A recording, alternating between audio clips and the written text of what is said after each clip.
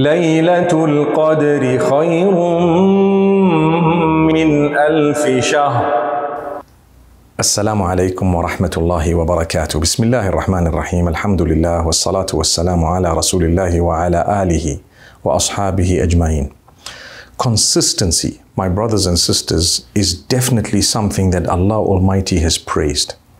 And the Prophet Muhammad, peace be upon him, has spoken about how great it is to do deeds consistently and you continue to do the same deeds even if they are very small deeds. One of the reasons of this is your level of consciousness of Allah subhanahu wa ta'ala should actually not be fluctuating but should be progressively improving. You maintain it where it is and you develop it. If you are doing big deeds just you know one time and then you forget about that. For example, I read the Quran today 30 pages and then for 20 days, 30 days I haven't read anything. Rather than that, Allah Almighty says to us through the blessed lips of the Prophet Muhammad, peace be upon him, that it is better for you to be consistent and to read one after the other, a page a day perhaps, or whatever else it may be, but you read every day a portion and cover that which you would have been reading in 30 days than to sit one day and cover it all. Because if you did it one day, now you're on a spiritual high and then you become low again. But if you maintain the consistency, you are still connected with Allah in a similar fashion. The same applies to charities. Try to space them out, try to give them out. Yes, in the month of Ramadan, we give our zakat. But here we're talking about that which is voluntary. I'd rather give a dollar a day and make it $300 or $350 in the year uh, without counting some of the days like Ramadan and so on because we're going to give our zakat. But I'm talking of voluntary charities or even if it's 365 days a year.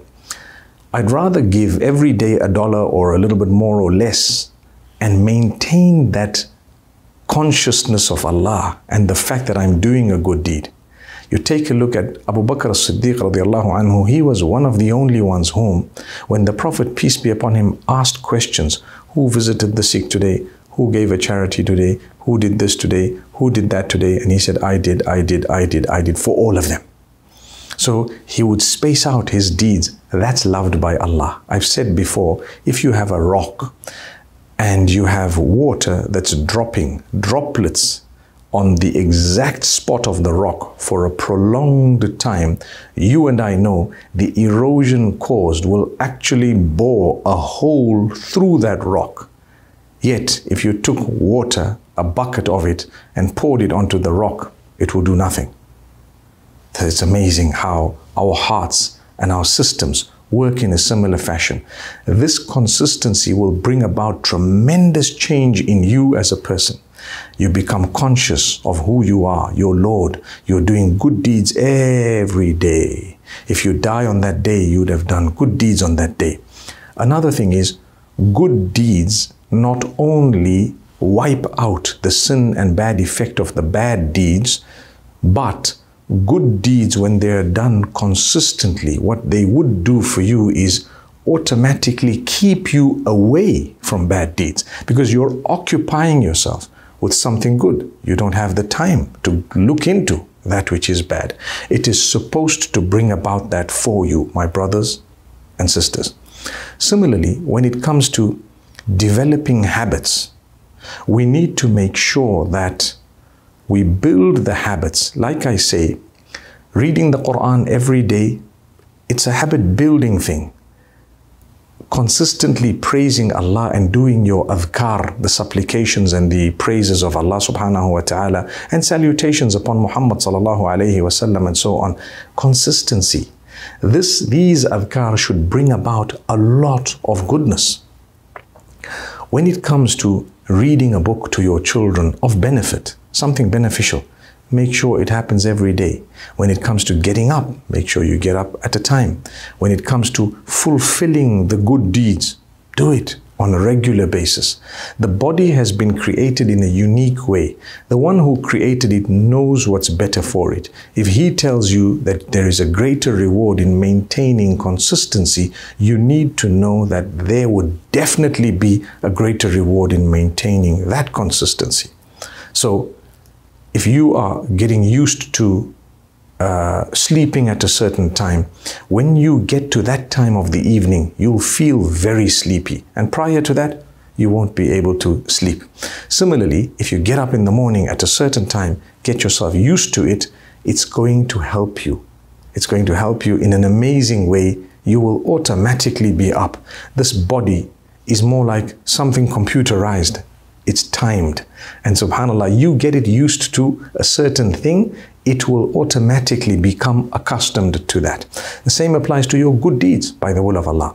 But I want to touch on something else. Certain habits that we have that we need to eradicate, you need to make sure you understand there are two aspects of it. Look, to greet someone, Assalamu alaikum, and to smile, to make them feel important, is something many people do not do. The Prophet, peace be upon him, made every single person he met feel important. He gave them the importance. We may not be able to do that because we're human beings and we're not prophets of Allah and we're weak. But you need to strive, make an effort. Don't look miserable all the time. People will automatically dislike you because of the look on your face all the time is so miserable. Make an effort to enhance your, your facial feet, your, you know, the, the expressions, subhanAllah, on your face. Make an effort. These expressions can be converted into acts of worship, such as a smile and, you know, giving a person a pleasant look. It's something that people think is a weakness, yet it is an act of worship. A few days ago, I was speaking to someone and I said, Brother, you're frowning and you're looking so upset and cross. What is it? He says, No, it's a weakness. How can I keep smiling at it? I said, My brother, it's an act of worship. Smile even if people think it's a weakness, it's okay. But yes, you need to know when to be stern. You can't afford to be smiling on a, at a time when it requires you to be a little bit stern. However, my brothers and sisters, we sometimes disrespect those around us and those we communicate with without realizing. Your family members, you know, we speak about your spouse both ways. Some people say, well, you know, we keep on speaking about spouses and so on. That's because you live with them every single day. You have opportunities to engage in acts of worship on a daily basis because you're interacting with that closest circle. So make sure you greet, make sure you smile, make sure you say good things, make sure you're helpful, make sure you have not yelled and screamed and belittled because that is something unacceptable. That's those who you live with, those whom you work with, even if they work for you. It does not give you the right to, to make life difficult for them, to belittle them, to speak to them disrespectfully. Do you know that that type of behavior comes back to us, to haunt us at a later stage in our lives, and we don't know why is this happening? It's happening because people have cursed you.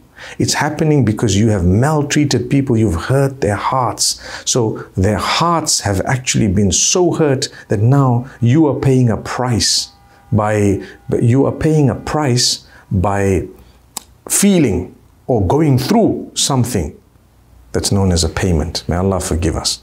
My brothers, my sisters, the Prophet Muhammad, peace be upon him, says, خَيْرُ الْعَمَلِ مَا دِيمَ عَلَيْهِ وَإِنْ قَلْ The best of deeds, the one that is consistent, even if it is a little. So let's get used to this. By the will of Allah subhanahu wa ta'ala, we would definitely be able to earn the blessings that Allah has kept in the consistency. Like I said, if He has said this, He knows why He is saying it. How much Quran are you going to read? Please do half a page a day. Please do a quarter page a day, but do it every day. Uh, how much extra prayer are you going to be engaging in? Sunnah and Nafil. Many of us do the farad and we walk off saying that, well, that's what I have to do, the compulsory bit. What about the extra voluntary bit? At least choose one or two of the prayers where you can do the voluntary bit as well. Fajr being the most important one, which we should try our best never to miss. May Allah Almighty protect us. And if we get ourselves used to these things and we do these beautiful deeds, even if they're little, consistently, then Alhamdulillah, we will become closer to Allah subhanahu wa ta'ala. I want to address the matter of clothing as well. Sometimes we don't realize that we're clothed in such a beautiful way that would be pleasing to Allah Almighty one day, and the next day we're dressed in a way that would be pleasing to shaitan. Sorry to say that, but it's happening. Rather, we maintain a consistency throughout and we dress in an appropriate way every day in such a way that if I were to die suddenly in a crash or some circumstances or just drop dead, it's happening to so many people, I would be in a condition that is pleasant. I would have been trying. I would have had this beautiful consistency. So we thank Allah for giving us an opportunity to share these words of the Prophet Muhammad, peace be upon him, his advice, and the words of the Quran as well. When we utter words, Allah says, وَقُلْ لِعِبَادِي يَقُولُ الَّتِي هِيَ أَحْسَنُ Tell my worshippers to say that which is the best. Surah Al-Hujurat warns us about belittling people, mocking at them, calling them bad names, making life difficult for people in that particular way, hurting their hearts. So if we get used to smiling, addressing people respectfully, it might seem like a small thing, but in the eyes of Allah, it's massive, it's major. Allah will give you a great reward when you do it, and there is a great punishment when you do the opposite. So, therefore, my brothers and sisters, let's develop a link with Allah. Let's continue even outside of Ramadan, throughout the year. Let's continue to do deeds a little. You might have been reading more in Ramadan, which is correct. You will read less perhaps outside of Ramadan, but be consistent. If you want, you do a page a day, two pages a day, keep it going. Your adhkar, keep them going Your, whatever you're doing, keep it going. If you're sitting and reading books to your children or something beneficial or an activity, keep it going.